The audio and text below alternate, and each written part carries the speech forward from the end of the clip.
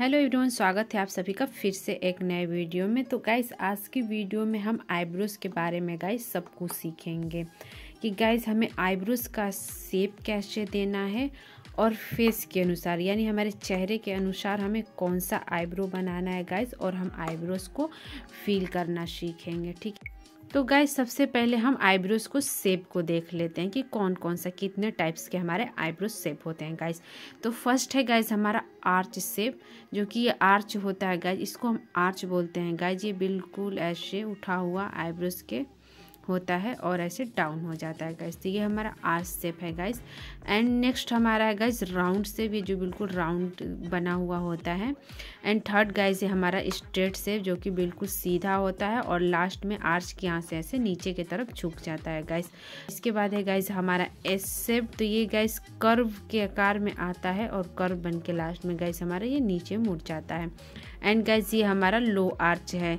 जो कि ये लो, हल्का सा। जैसे गाइज़ ये हमारा आर्च ज़्यादा उठा हुआ है तो इसको हम हाई आर्च बोलते हैं गाइज़ और ये हमारा थोड़ा डाउन है तो इसको हम लो आर्च गाइज़ बोलते हैं। तो ये आईब्रोज यहाँ पे आर्च के यहाँ हल्का सा झुका हुआ, फिर नीचे आ जाता है गाइज़ तो गाइज़ ये थे हमारे आईब्रोज के गाइज़ टाइप्स कितने प्रकार के गाइज़ हमारे आईब्रोज के प्रकार होते हैं गाइज़ अब गाइज़ हम जानेंगे कि हमें किस फेस पे कौन सा आईब्रोज बनवाएँगे तो हमारा फेस बिल्कुल अच्छा लुक देगा, यानी परफेक्ट लुक आएगा गाइस तो गाइज़ अगर आपका फेस गोल है, यानी चेहरा आपका गोल है तो आपकी जो चिक्स बोन्स होंगे गाइज़ वो चौड़े होंगे, ठीक है?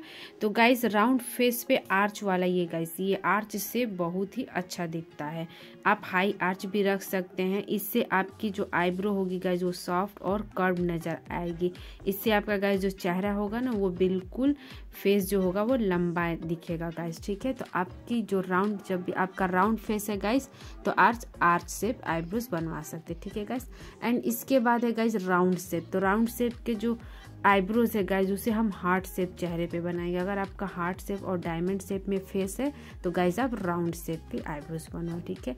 और गाइज़ बात करते हैं स्ट्रेट सेप की, जो बिल्कुल सीधी होती है। तो गाइज़ अगर आपका चेहरा गोल है गाइज़ बिल्कुल लंबा है राउंड में ऐसे तो आप गाइज़ स्ट्रेट से बनवा सकते हैं, ठीक है? एस की बात गाइज़ बात करते हैं तो ये गाइज़ स्क्वायर शेप यानी चौकोर चेहरे पे अच्छा लगता है। तो चौकोर फेस पे गाइज़ आप आर्च भी बनवा सकते हैं। आप इस आर्च शेप को भी और एस शेप दोनों को भी बनवा सकती हैं गाइज़ और लास्ट है गाइज़ हमारा लो आर्च तो गाइज़ लो आर्च हम ओवल शेप यानी ओवल चेहरे के आकार पे हम लो आर्च बनवाते हैं गाइस तो गाइज़ ये था हमारा सेप और किस सेप पे कौन सा हमें आईब्रोज बनवाना है, आपको पता हो गया होगा।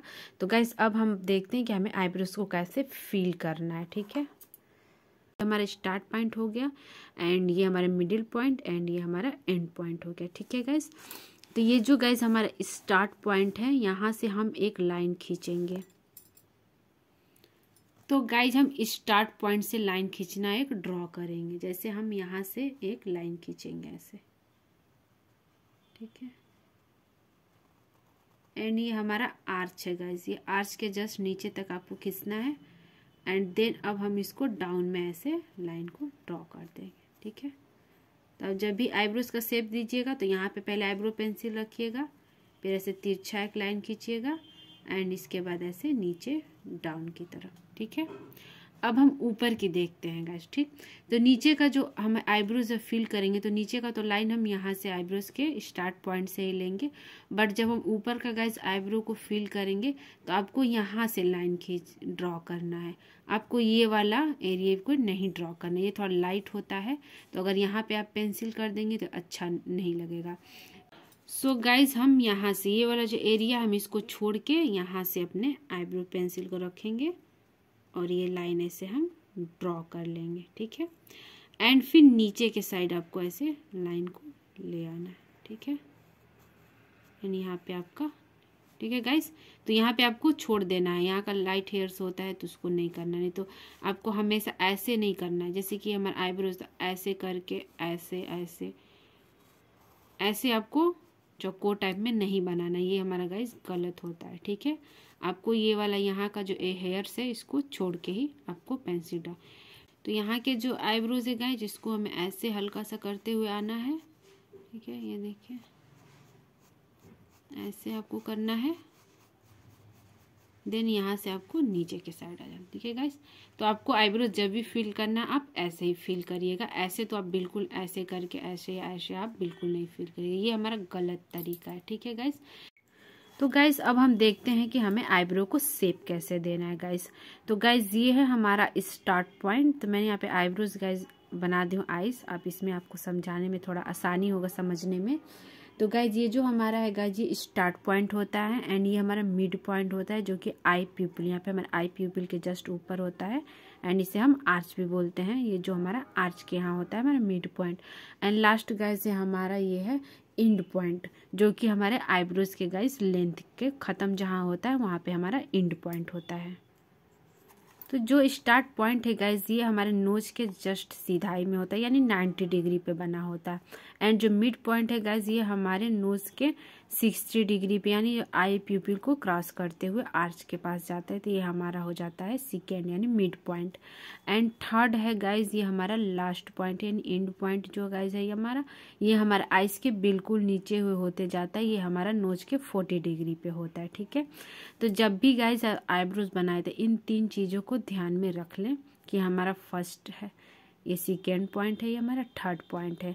तो गाइज़ जब भी आप फ़र्स्ट पॉइंट पे यानी स्टार्ट पॉइंट की आईब्रोज बनाए तो सबसे पहले मैं आपको ऊपर के बता देती हूँ। तो ये जो ऊपर का भाग है गाइज़ तो आप इसमें से ये जो हमारे हेयर्स हैं, आपको इसमें से हेयर्स को नहीं क्लीन करना है। बस आपको ये जो फोरहेड वाली एरिया है, बस आपको हेयर्स को यहीं का क्लीन करना है। और इसमें बिल्कुल भी नहीं निकालना नहीं तो ये हमारा आर्च और ध्यान रखिए यहाँ पे तो आपको एक भी हेयर्स नहीं निकालने हैं, क्योंकि हमारा आर्च का हेयर्स निकल गया तो हमारा आईब्रोज ख़राब हो जाएगी डाउन हो जाएगा नीचे की तरफ़। तो आपको बस ये क्लीन करना है फोरहेड वाले एरिया को। तो गाइज़ जब हमें नीचे से अब आईब्रोज की शेप कैसे देना है, वो हम देख लेते हैं गाइज़ तो गैज़ यहाँ पे हमारे आईब्रोज की सबसे ज़्यादा, जैसे आईब्रो ये हमारा पूरा है तो यहाँ पे हमारा सबसे ज़्यादा मोटा रहता है, यानी थिक रहता है। तो गैज़ यहाँ से हमारा थिक होते होते धीरे धीरे ये पतला हो जाता है, ठीक है? तो यहाँ पे गाइस आपको हेयर्स को बिल्कुल भी नहीं निकालना है, क्योंकि इसकी थिकनेस को आपको कम नहीं करना है। अगर ये पतला हो गया गाइस तो हमारा आईब्रोज का शेप खराब हो जाएगा। तो आपको बस शेप देने के लिए एक या दो जो हमारे हेयर्स यहाँ पे होते हैं अप और डाउन यानी ऊपर नीचे, आप उसको ही बस क्लीन करिएगा, ठीक है?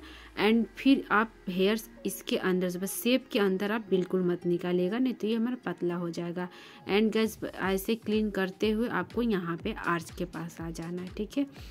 तो गाइस तो गाइस जस्ट ये हमारे आर्च के नीचे, यहीं पे हमारा ज़्यादा हेयर्स होता है गैस और यहीं पे हमें सेप देना होता है, ऐसे राउंड में, ठीक है?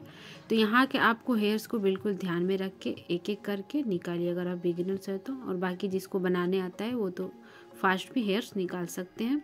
तो यहाँ पे गाइस आपको हेयर्स को क्लीन करना यहाँ के ज़्यादा हेयर्स होते हैं, इसको ऐसे सेप में करते हुए क्लीन करिएगा गाइस एंड लास्ट में गाइस यहाँ पे ध्यान दीजिएगा कि यहाँ के जो हेयर्स है, इनको भी नहीं निकालना है.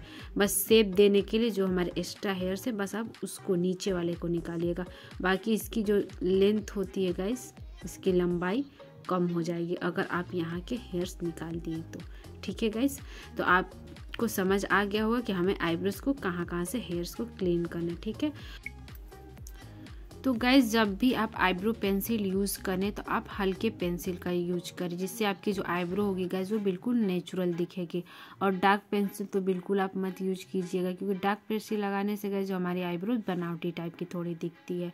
और गाइज़ आप सेप के अनुसार आईब्रोज को अपना सेप दीजिए। फेस के, यानी चेहरे के अनुसार आईब्रोज को गाइज़ आप सेप देंगे तो आपका फेस का लुक गाइज़ बिल्कुल अट्रैक्टिव दिखेगा।